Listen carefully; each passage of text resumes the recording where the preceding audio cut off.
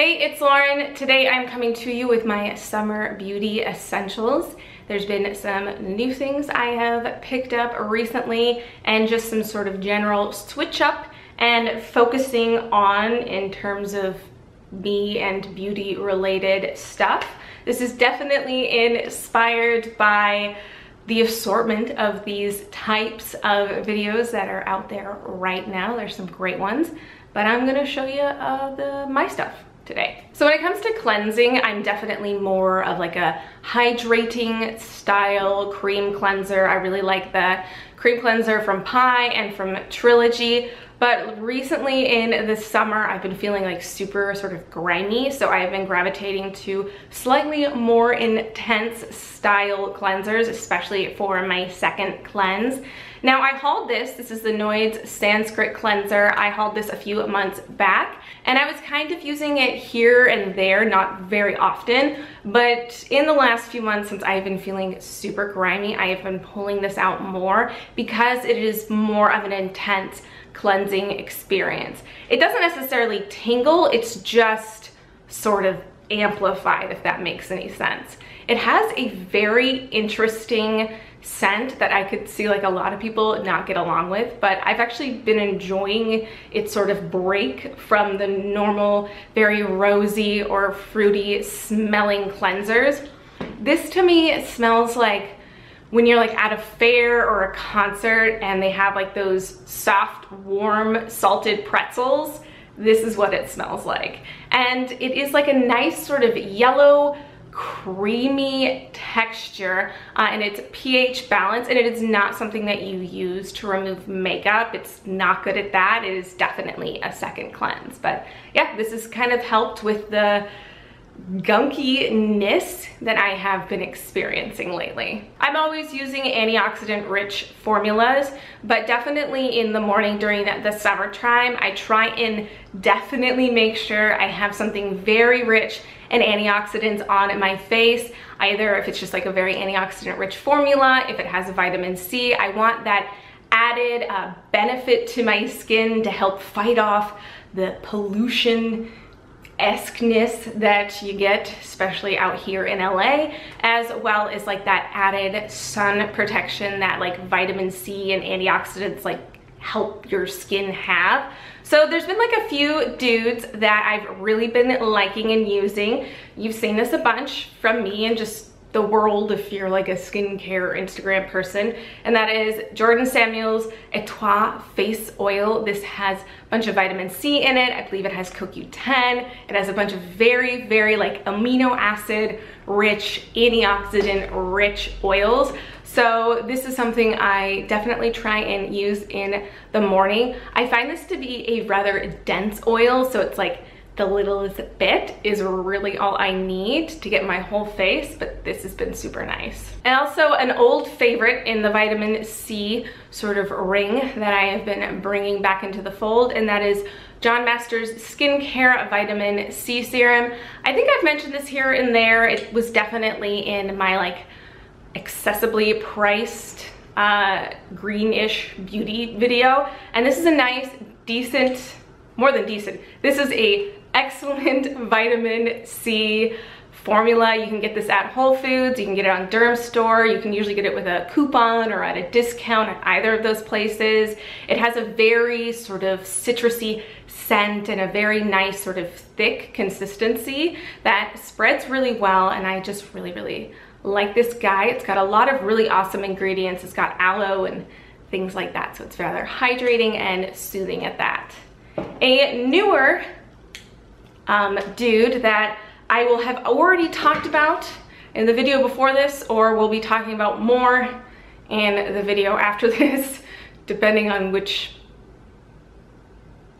those things get out. But it is the Tatcha Violet-C Radiance Mask. You've this is uh, something you might have also seen around. It's been making its way on the YouTube and it's just like a newer launch and it is a pricey mask. I got this when like, because I spend an exorbitant amount of money at Sephora, they like sent me like a $15 coupon recently and I was like, all right, I guess I'm gonna get that Tatcha mask after all. So this is now in my life and I love it. Um, when that, that video that either already happened or is about to happen, I had been using this mask for um, several times and I talk about how I like it and I've used it even more since then.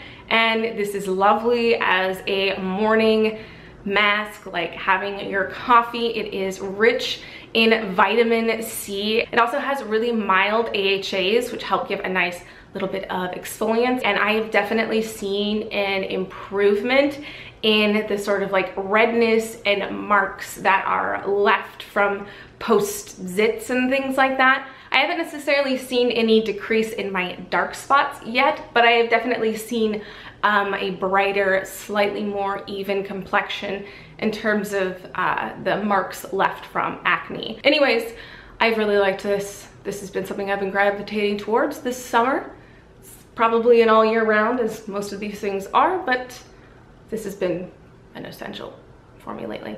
A few weeks, no, it's definitely more than a few weeks. It was like at least a month to two months ago.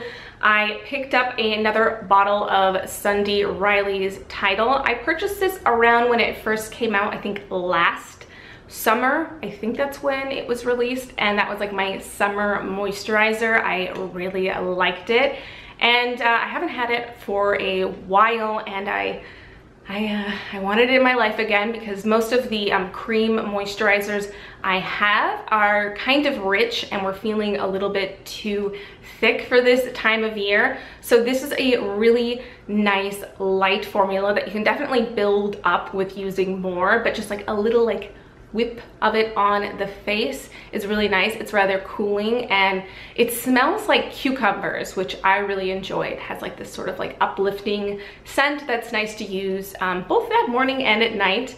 And it has um, a bunch of like nice antioxidants in it, uh, a lot of hydrators, and it has alpha-arbutin in it, which really helps with uh, dark spots and general brightness. So that is nice to have into the mix as well. And it also, because it is so rather light, it really sits very nicely underneath makeup, which is something I need during this time of year because I am I get hot and I get like murky and gross. Now, of course, it cannot be a video about summer stuff without sunscreen. Y'all know I really like the Farmacy Green Screen Daily Environmental Protector with SPF 30. This has gone with me all over the place over the last couple months. I took this to Alaska with me and this helped uh, keep me burn free when I was on a fishing boat for 10 hours.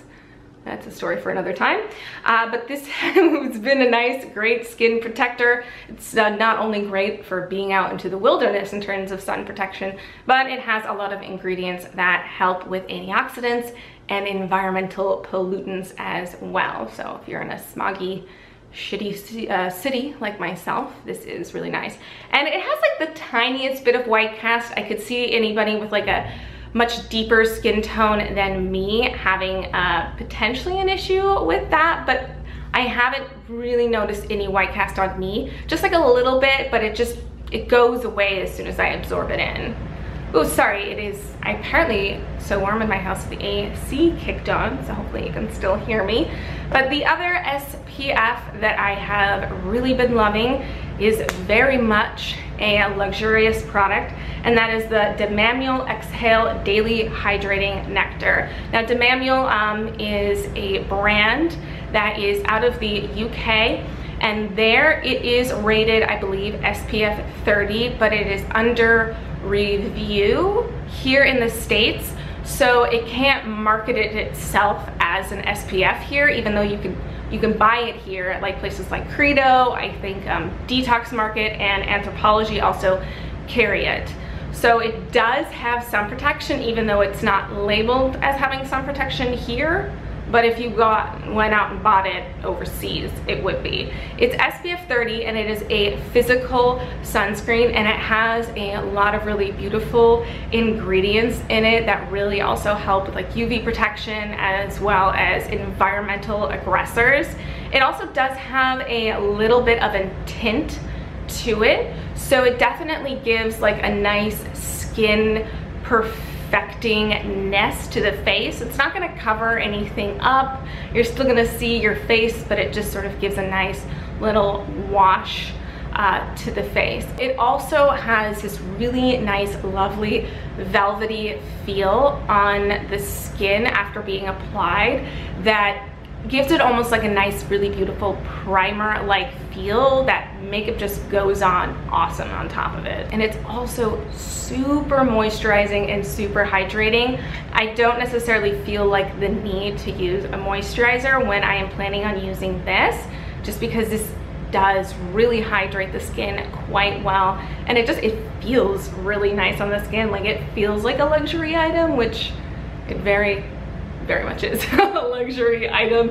One of the most pricey things I own but luckily it is 1.7 ounces which you know these other sunscreens usually are. Um, so it should be lasting me a while. Um, but I definitely have been treasuring this beautiful product there's been two mists I have been really enjoying lately. They are both of the sort of citrus variety. The first one is the Leahlani Citrus Mist. This is a beautiful toner. It's the first ingredient's water, but then it's aloe juice, and then it has just like the most amazing neroli scent. It's really super intoxicating if you like citrus neroli scents you are gonna love this. And it does have like witch hazel and some things like that that can make it a little bit more um, I think maybe astringent is the word I want to use. So it's not necessarily a super hydrating toner. It's definitely more of just like a waking up and if anything sort of controlling toner. This one is the Vitamin Wake Up Mist from Pixi, definitely a more economical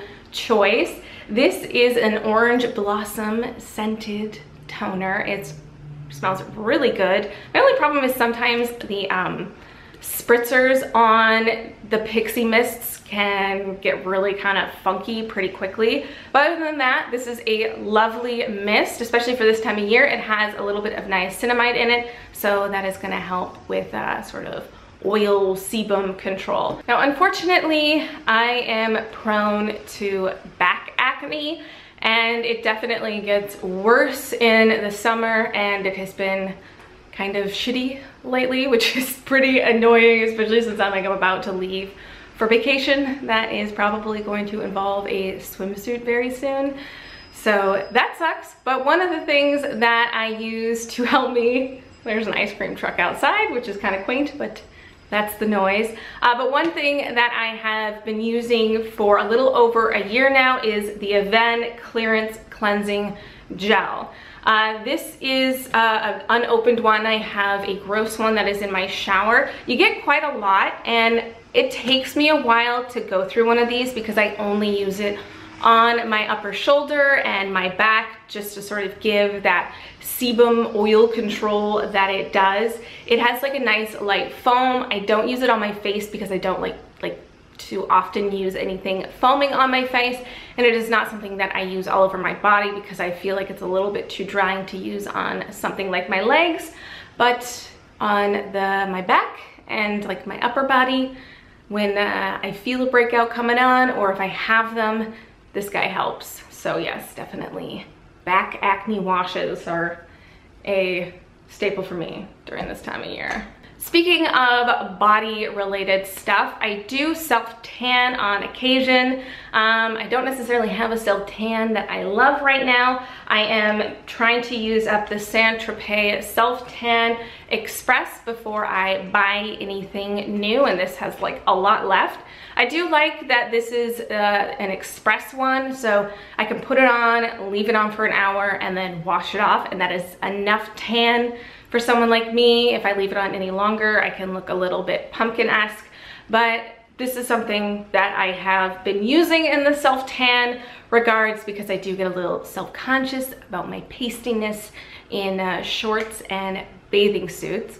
But um, what I wanted to get at is when the tan is getting a little bit murky, I like to use scrubs. I have one of those, I believe it's a Japanese style washcloths that is um it's like plastic and you like kind of like scrub like that i have one of those in my showers that i use but when like fake tan is getting a little bit gross or when I'm just like feeling more gross, I just end up feeling more gross in the summer than normal. I like to use a more intense scrub. And one that I have been really enjoying lately is this one that actually Willow Body sent me a while ago. This is their black coconut body scrub. This is a coffee ground based body scrub that has coconut oil in it as well as rosehip oil and some other hydrating oils. I definitely prefer coffee scrubs and sugar scrubs over salt scrubs. I find them to um, be a little stingy on me, but this has a really nice amount of grit and it smells like coffee, uh, which really kind of gets me moving in uh, the morning, which is really nice, gives that added like boost to get going, and it does a good job of exfoliating the body. Um, unfortunately, their website has been down for a while. I think they are reconstructing it. Um, but yeah, this is this is nice. I've really been enjoying it. Thanks, Willow, for sending that my way. And lastly, body regards has been this sort of mixture I've been doing. I, uh, if my fake tan is looking a little funky or if I just want my, my skin to be a little bit more glowy, what I've been doing is I've been taking a glow highlighter and mixing it with my regular old boring lotion. I got this Marc Jacobs Dewdrop uh, free from influencer a few months back and I was like, there's no way I'm gonna ever use this thing up before it goes bad. And then I also have this like liquid illuminating highlighter from L'Oreal that is like actually really intense and there's no way I'm ever gonna use it up. So um, depending if I wanted a more like icy look like this one or a more golden look like this one, I have been doing a squirt of that into my 365 body lotion, which I buy all the time, super cheap from Whole Foods, does a good job of moisturizing the skin. So I just do a pump of this with however much I want of this and put it on my body and it gives a nice uh, looking glow to the skin. So there's like a nice little random makeup skin hack. You don't have to go out and buy a uh, beautiful but expensive shimmery body oil or moisturizer. Now when it is super hot out, I don't want to fuss with like a lot of makeup, um, especially like thicker bases. I definitely stick to lighter bases, which honestly I could have made an entire video about, so I'm just sort of skipping those, plus a lot of them that I probably would have recommended you've seen in recent videos, like the Tiger Grass, um, and then the Dr. Jart BB Cream, and then the NARS Charlotte Gainsbourg, all nice, light bases. But anyways, I'm just gonna more share sort of the makeup types I have been focusing on. Cheek-wise, I have really been loving this newer launch from Anastasia Beverly Hills. This is their blush trio in Pink Passion. And I kind of mix all of these. Today I have this on my cheek going upward and then I have this dude uh, just sort of popped onto the cheek to like make it more dimensional and to come out. But all of these are beautiful, bright colors that you can build up uh, for a more intense blush look or just sort of sheer on the skin. Really beautiful formula. Anastasia does their powders well.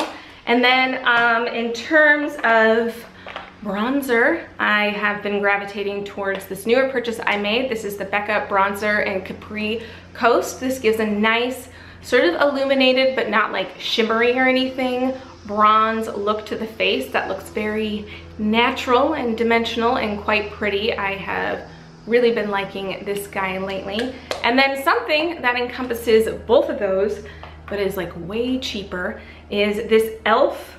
Uh, bronze blush quad.